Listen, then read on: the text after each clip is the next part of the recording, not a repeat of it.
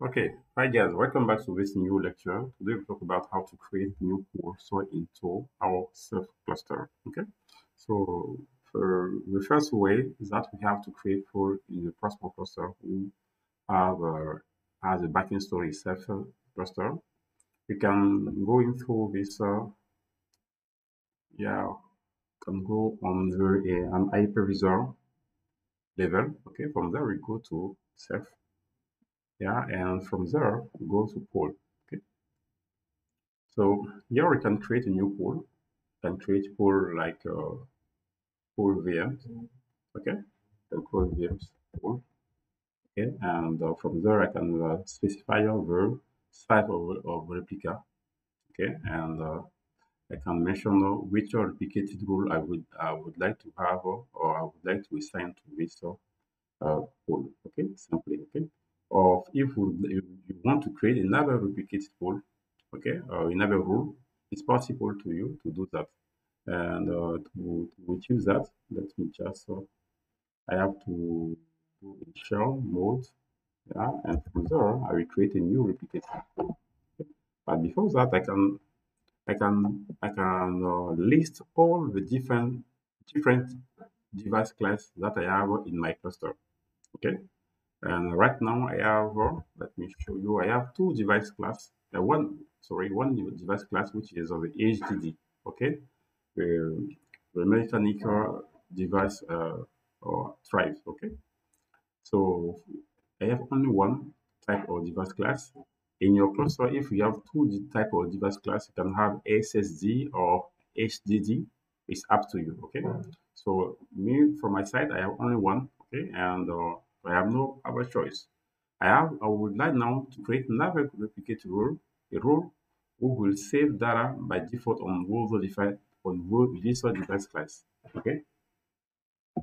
Let me uh, copy and paste of this new uh, rule. Yeah, from there I will create a new rule. Okay, by default.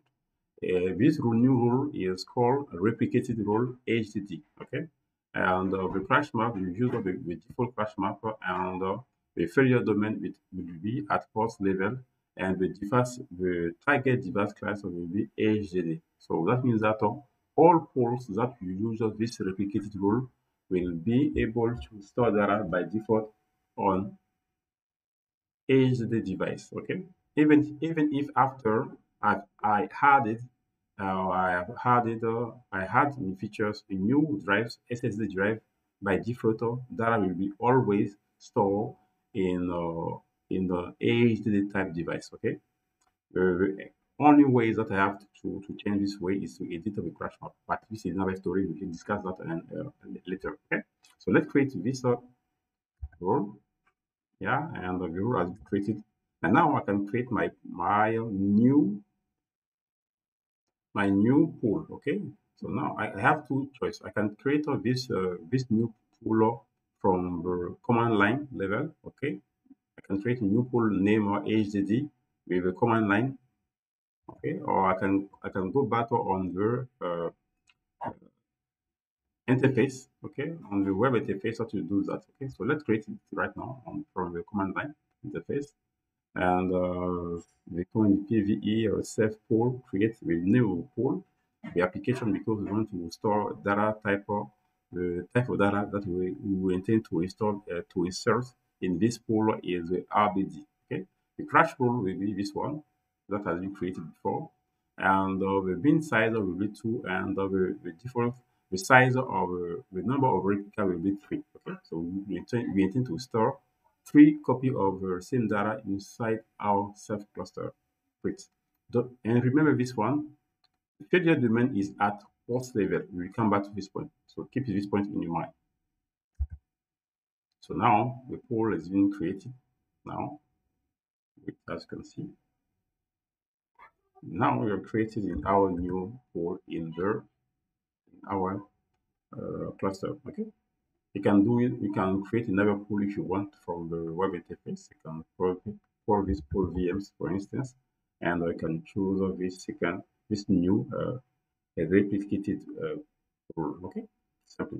It's up to us. Very easy, and uh, yeah, let's go ahead.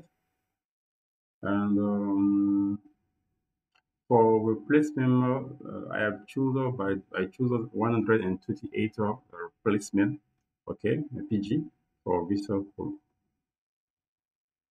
About the, the PG calculation, so it's another story. I want to take my time there uh, on this point. But let, let's go ahead. Okay, so now our pool has been created uh, successfully. Great, and now I can we can move on to the next step of our uh, video or our lecture, which is uh, creating new virtual machine up, which will be uh, located inside one on those pool. Okay, so thank you very much and see you next lecture.